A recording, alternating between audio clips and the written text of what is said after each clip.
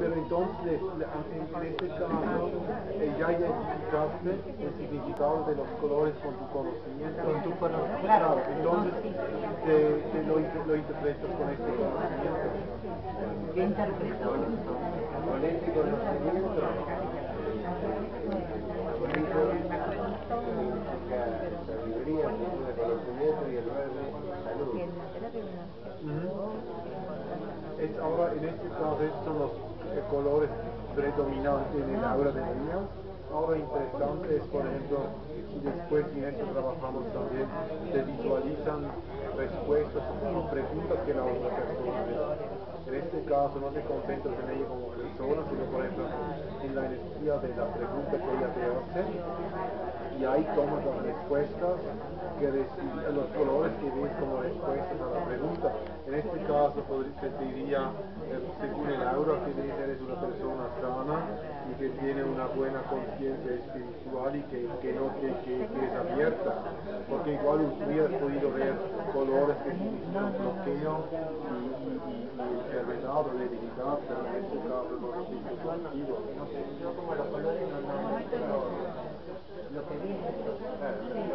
no, no, no, tiene que ser, eso digo, unos ven colores y otros Claro. No, no, claro, pero en este caso nosotros no nos planteamos. Lo que preguntó al otro. No, no, yo sé, no, no, te digo nomás, en este caso es la próxima meditación. Te digo nomás, los colores que has visto ahora son los colores básicos de tu aura. Y lo mismo que hemos hecho ahora, ella como persona se pueden hacer con preguntas concretas también. entonces la, la interpretación de lo que has visto es el significado de los colores y el imagen en la cara que has visto. em, No era su cara. No, dice que no. Y la cara era, era en la parte de arriba de la abajo. ¿Y qué color era? Todo rojo. ¿Rojo? Muy penetrante, sí. Rojo penetrante. ¿Qué significa el rojo?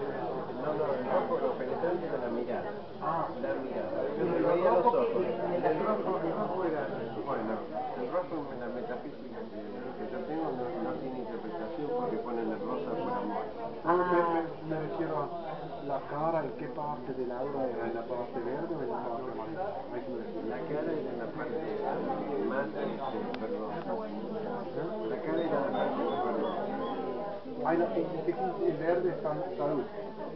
Sí, pero no, la parte de la cara, pero ahí no venía cara. Claro, eran planos. La. Sí, bueno, muchos en, en el, como te- en en el, en el sig- significado, misticismo se, interpreta la visualización de una cara que no es uno mismo, eh, un, un- un conocimiento o una sabiduría eh, oculta o no descubierta y eso. Ah, Por eso pregunté si, por ejemplo, la cara era en la parte de, de la sabiduría del amarillo, significaría que hay, una, hay un aspecto, una fuerza desconocida y no, no descubierta todavía, porque es una cara que no eres tú, pero igual es parte eres tú.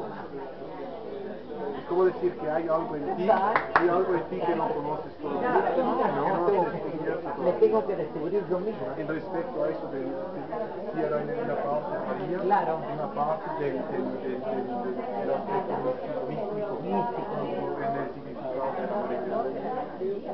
Muy bien.